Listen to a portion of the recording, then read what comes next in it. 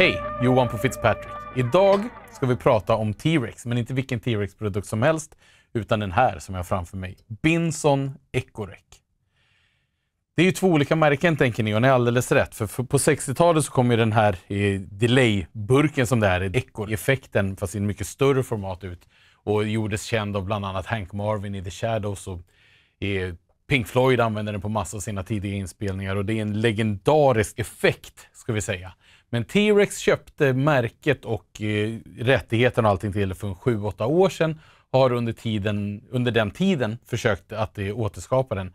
Det jobbiga och det stora problemet de hade det var att det fanns inga ritningar och inga originaldelar när de köpte det. Så de har fått reverse engineer originalenheter och därför har det tagit ganska lång tid att komma tillbaka hit.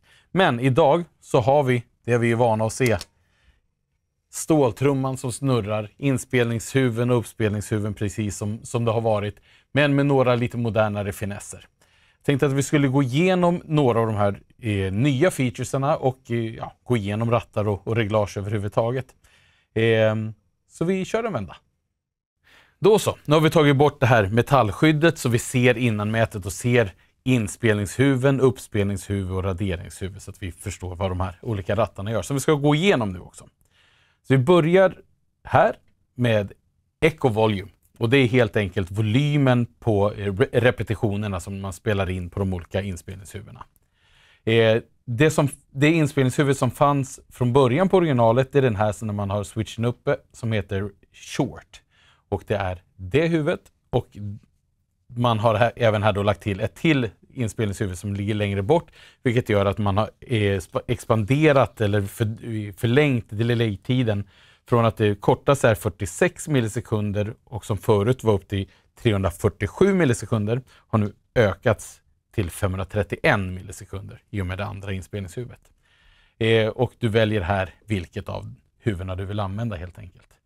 Nästa reglage är drum speed och det här är också en ny sak som, som inte fanns på originalet utan då snurrade den i det här tempot, det som är när den här ratten är mitt på, uppe på klockan 12 om man säger så. Men du kan dra ner den till noll eller upp den till plus här och då har den 20% plus eller 20% minus. Så det här kan du ställa in mycket mer exakt vilken delay-tid du vill ha på saker och ting. Du kan få den att sluta snurra också genom att bara hålla ner tryckt i två sekunder. Så, så stannar den. Recording level, det är liksom hela din signal in eh, som en inputvolym. Så att drar du på den mycket, då kommer den börja överstyra och börja låta som att det är, eh, det är eh, fuss inbyggt helt enkelt. Det blir, det blir lite aggressivare ton. Går vi över till andra sidan så har vi eh, repeat. Det är alltså hur länge, hur många repetitioner eh, du vill ha. Du har de olika uppspelningshuvudena och så du kan välja vilket eller vilka av huvudena du vill använda. På repeat så är det en vanlig delay. På swell så sätter den igång alla uppspelningshuvudena och då är det helt enkelt, det blir mer som en, en reverb-effekt. Om du dessutom sätter igång alla så, spelar, så är det både swell och repeat samtidigt. Så då kan du verkligen jobba med stora rymd, rymdiga landskap. Eh, Echo Tone, det är helt enkelt en, en tonkontroll för dina repetitioner. Du kan få dem att bli lite dovare och du kan få dem att bli lite brightare. Och sen en bypass-knapp som är av och på helt enkelt. Och som sagt, håller du inne den två sekunder så slutar det snurra också och stannar där. Sen har vi lite grejer på baksidan, så det ska vi ta här också. Då så, då har vi hållit upp den här så ni ser baksidan på den. Det mesta är väldigt enkelt. För gitarr, input, för gitarr, output. Vill du ha den i en studio och vill använda XLR så är det in där och ut där. Ganska self-explanatory som de säger. Strömförsörjningen ingår och det måste vara 24 volt och 300 mA minst för att den ska orka driva den. Du har två ingångar här. En för expression pedal där du kan ställa farten på trumman, de här 20% upp och ner som vi pratade om. Och en bypass ifall du behöver dra en, har den långt ifrån dig och behöver dra en kabel för att kunna stänga av och sätta på helt enkelt. Men sen har den de här små fyra rattarna också. Här kan man göra väldigt mycket kul. För här ställer du volymen, den individuella volymen per uppspelningshuvud.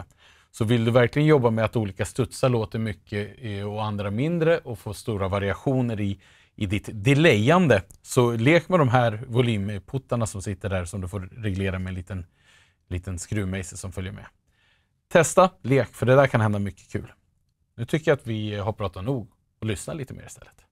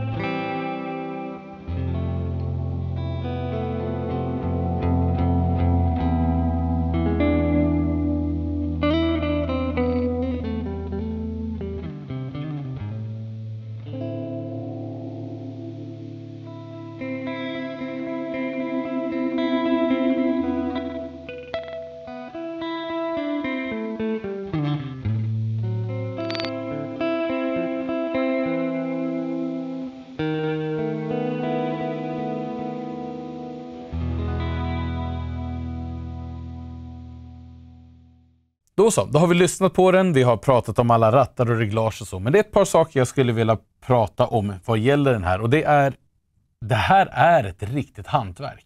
Den här byggs för hand i Danmark och det syns på priset och vi gör inga ursäkter för att den kostar vad den gör. Det är ett fantastiskt hantverk och det är till och med så att Sebastian och Lars har fått vara med och ta fram nya verktyg och maskiner bara för att kunna skapa den här trumman som snurrar. Eh, det är inget sånt här vi, vi tar och land, eh, licensierar ut det här till en fabrik någonstans ute i världen, utan det är ett rent hantverk i Danmark. Jag tycker också det är väldigt kul att de, jag ska inte säga återuppliva för den har ju aldrig riktigt försvunnit, men behåller livet på en sån här cool produkt. Och att man har gjort den i ett format som faktiskt funkar för både ett gitarrpedalbord eh, och att den kan stå som en standalone unit i, i vilken studio som helst. Eh, jag gillar verkligen att man, man har gjort en högkvalitativ produkt för hand i Danmark och att det är liksom, vi har tagit hem produktionen och vi, vi kan stå för, för den här kvaliteten och vi kan stå för en stolthet, en, en hantverksstolthet som vi faktiskt kan hitta här i Skandinavien också.